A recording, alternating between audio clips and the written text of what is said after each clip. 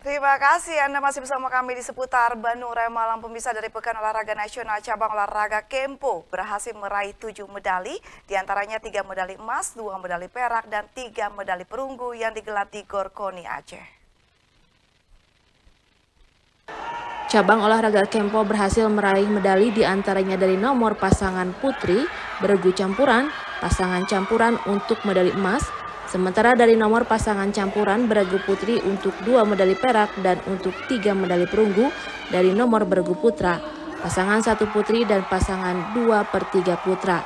Pelatih Sironji Kempo Jawa Barat, Maria Soli mengatakan cukup puas dengan hasil tersebut. Meski persaingan cukup ketat dengan NTT, namun menurut Maria atlet Jabar dapat mengimbangi tim lawan. Dengan perolehan medali itu, cabur Kempo Jabar dapat memenuhi target yang diberikan Koni Jabar, yakni tiga emas. Dengan NTT ya, e, kalau di Kempo itu hanya NTT dan Kaltim ya, yang menjadi kejar-kejaran. Hermanto Sidik, Bandung TV.